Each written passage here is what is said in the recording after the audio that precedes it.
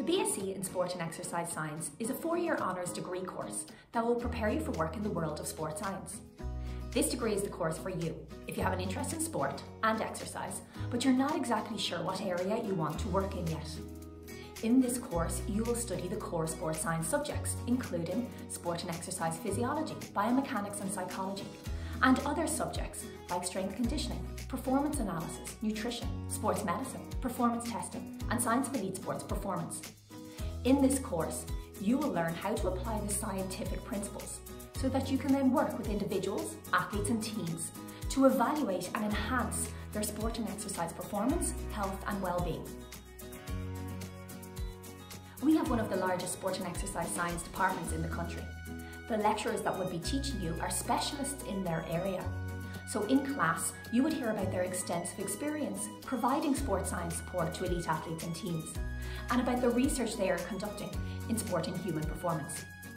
Our department are really passionate about preparing graduates for the real world, and we offer a really supportive and practical environment. Not only would you have classroom-based learning, but you would also have many practical classes and real-world experiences through site visits, guest speakers, and industry and community engagement. In your final year, you would also complete a work placement in a chosen area of interest, so you would be fully embedded into the world of sport and exercise science.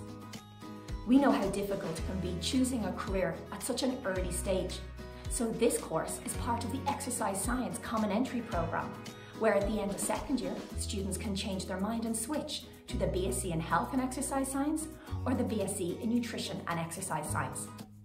One of the really unique features of this course are the extra qualifications built into the course.